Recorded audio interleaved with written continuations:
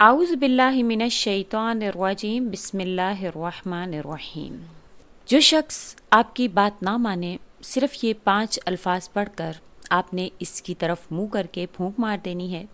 सिर्फ़ पाँच अल्फाज हैं। ये पढ़कर आप फूंक मार दें। देखना फिर कैसे वो आपकी हर बात मानेगा। आपके ख़ानदान में अहमियत नहीं है। आपकी इज़्ज़त नहीं है। आप भी किसी की बेटी हो, आप भी किसी की बहन हो। आप भी चाहती हो कि मेरी भी कोई बात चले। अगर आपके साथ यही मसला है कि आपके ख़ानदान में आपकी अहमियत नहीं है घर वाले आपकी इज़्ज़त नहीं करते हैं, शौहर आपकी बात नहीं मानता है, या कोई मर्द इस वजीफ़े को करना चाहता है तो वो भी कर सकता है। इसकी कोई बात नहीं मान रहा इस वजीफ़े को करने के बाद इन ताला हर कोई आपकी बात मानेगा। जैसा आप कहोगे, वैसा ही होगा। इन अल्लाह ताला के हुक्म से आपके साथ वैसा होगा जैसा आप चाहते हैं। आपने ये वजीफ़ा शुरू से लेकर एंड तक देखना है। अगर वीडियो आपने स्किप की या आगे की, फिर ये वजीफ़ा असर नहीं करेगा, क्योंकि कुछ चीज़ें मैं लिख कर नहीं बता पाऊँगी, ज़बानी आपको बताऊँगी।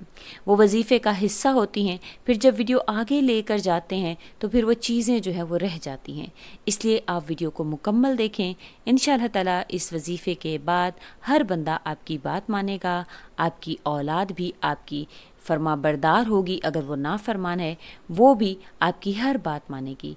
और अगर आप किसी के दिल में मोहब्बत पैदा करना चाहते हैं किसी की मोहब्बत आपके लिए कम है, शोहर प्यार नहीं करता है या बीवी प्यार नहीं करती है, वो भी एक दूसरे को प्यार करेंगे। इस वजीफ़े के बाद आप जैसा चाहेंगे वैसा ही होगा। वजीफ़ा का तरीक़ाकार आपसे अच्छी तरह आपको जान लेना चाहिए। इसके बाद देखें कि कैसे मोहब्बतें बढ़ती हैं। तो नाजरीन, वजीफ़े का तरीक़ाकार अच्छी तरह से जान लीजिए। और हाँ अभी वीडियो को लाइक भी कर दें और हमारे चैनल को सब्सक्राइब भी कर दें। नाजरीन, आपने एक ऐसी जगह पर बैठ जाना है अकेले जहाँ आपको ये लगे कि अब मुझे कोई तंग नहीं करेगा। आपने घर के सारे काम से फ्री होकर इस वजीफ़े को करना है, जो मैं आपको बताने जा रही हूँ।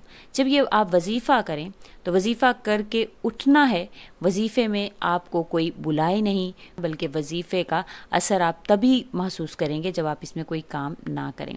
नाजरीन, आपने अकेले बैठना है और इस वजीफ़े को कोई भी मेरी बहन कर सकती है, कोई भी मेरी बेटी कर सकती है कोई भी मेरा भाई कर सकता है।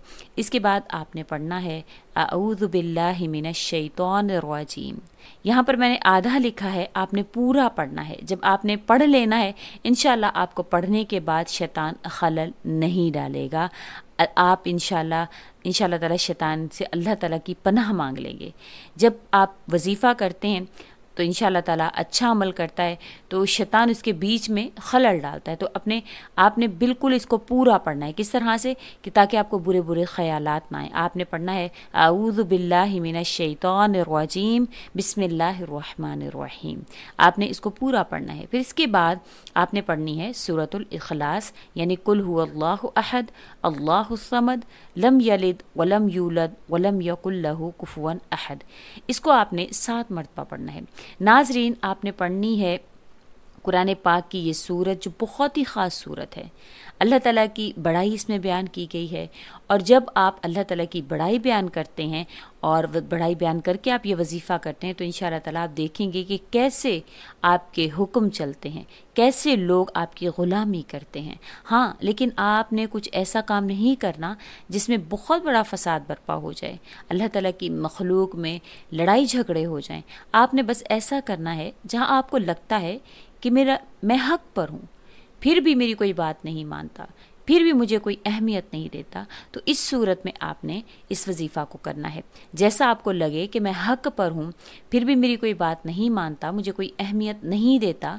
मेरी लोग बेज़ती करते हैं, मेरी इज़्ज़त नहीं करते हैं। ख़ानदान में इन ताला आप जैसा चाहेंगे, अल्लाह के हुक्म से आपकी वैसी ही इज़्ज़त होगी। नाजरीन, फिर आपने इसके बाद दरुद पाक पढ़ लेना है। आप मेरे साथ भी पढ़ लीजिए। अल्लाहुम्मा सल्ली अला मुहम्मद आली मुहम्मदिन कमा सल्लैता अला इब्राहीम व अला आली इब्राहीम इन्नक हमीदुम मजीद अल्लाहुम्मा बारिक अला मुहम्मद व अला आली मुहम्मदिन कमा बारकता अला इब्राहीम व अला आली इब्राहीम इन हमीदुम मजीद नाजरीन आपने ये दरूद पाक अच्छी तरह जब पढ़ लेना है आप सल्लल्लाहु अलैहि वसल्लम की ज़ात पर फिर आपने अपना दायां हाथ आगे करना है और हाथ आपका खुला होना चाहिए दायां हाथ आपका हो यानी कि सज्जा हाथ जिसको बोलते हैं औरत मर्द दोनों इस अमल को कर सकते हैं आपने अपनी चीची की उंगली जो छोटी उंगली कहलाती है, सबसे छोटी, इसको आपने इसके ऊपर रखना है और हा को बंद कर लेना है। फिर आपने पढ़ना है, इससे अगली उंगली पर दम करना है, उंगली बंद कर लेनी है। फिर आपने इस पर आइन पढ़ना है। हा के बाद आइन आपने फिर उंगली बंद कर लेनी है। फिर आपने पढ़ना है सीन। फिर उंगली बंद कर लेनी है। फिर आपने पढ़ना है कौफ। इसके ऊपर आपने फिर पूरी मुट्ठी जो है वो बंद कर लेनी है। आपने नाजरीन, पूरी मुट्ठी बंद कर लेनी है। अगर तो कोई शख्स आपकी बात नहीं मानता, वो आपके सामने बैठा है तो आपने इसकी तरफ़ ऐसे दो मरतबा हाथ को पुश करना है और तीसरी मरतबा आपने मुट्ठी को खोल देना है। आपने ऐसे ही कर देना है। इसके बाद अगर आपके पास किसी शख्स की तस्वीर है, जिससे आप बात तो करते हैं या कभी कभी बात नहीं भी करते तो आपकी वो बात नहीं मानता या आपकी मर्ज़ी के मुताबिक नहीं चलता है, चाहे वो आपका खूनी रिश्तेदार है, चाहे वो आपका बेटा है, चाहे वो आपका शौहर है, आपसे झगड़ा करता है, कोई भी आपका रिश्तेदार हो सकता है तो आपने इसकी तस्वीर के ऊपर तीन मरतबा फूंक मार देनी है। नाजरीन तीन मरतबा आपने यही अमल करने के बाद उस पर फूंक मारनी है और आपने जब ये अमल करना है तो पानी का एक गिलास भी आपने अपने पास रखना है। ये सब कुछ पढ़कर आपने इसके ऊपर भी फूंक मारनी है। पानी के गिलास के ऊपर ये सारे का सारा अमल आपने करना है। और अगर कोई शख्स ऐसा है जो आपकी बात नहीं मानता, वो घर में है और आपके आसपास है, कहने से मुराद ये है कि आप इस शख्स को पानी पिला सकते हैं, चाहे वो बोतल में हो, चाहे आप चाय में पिला सकते हैं तो चाय में डालकर पिला दें। और अगर आप इस पानी को वैसे ही पिला सकते हैं तो वैसे ही पिला दें, जिसके ऊपर आपने ये सब कुछ पढ़ा हो। तो मैंने तरतीब आपको बता दी है तो आपने तीन मरतबा उस पर वो तरतीब करके आपने उस पर फूंक मार देनी है। इसको आपने संभाल कर रख लेना है। पानी को आपने जो है वो ज़ाया नहीं करना, कोई ऐसा काम नहीं करना। मैंने पहले भी बताया है कि जिससे बहुत फसाद या झगड़े हो जाएँ, इस तरह का आपने कुछ नहीं करना, बल्कि आपने ये करना है कि जो, जब आपको लगता हो कि मैं हक पर हूँ, मैं सही हूँ, मैंने किसी का दिल नहीं दुखाया, मैंने किसी का नुकसान नहीं किया, फिर भी मेरी कोई इज़्ज़त नहीं करता, फिर भी मेरी कोई बात नहीं मानता।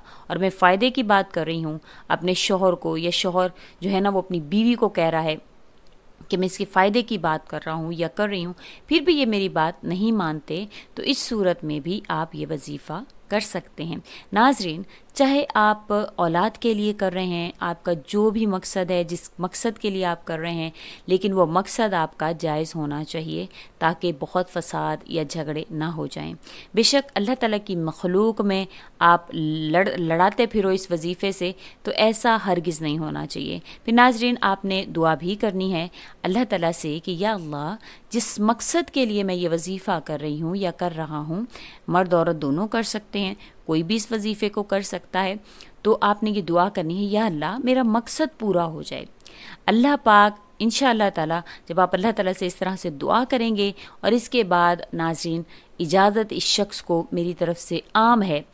कोई भी मेरी बहन है, बेटी है, जो इस वजीफ़े को, जो इस वीडियो को लाइक करके चैनल को सब्सक्राइब कर देंगे तो नीचे सफ़ेद या लाल कलर का जो सब्सक्राइब का बटन आ रहा है, उसको भी ज़रूर दबा दें तो उनको फ़ौर मेरे वजीफ़ा की इजाज़त हो जाएगी। तो इसी के साथ इजाज़त चाहूँगी। अल्लाह हाफिज़। असलकम वरहमल वबरकातुहू।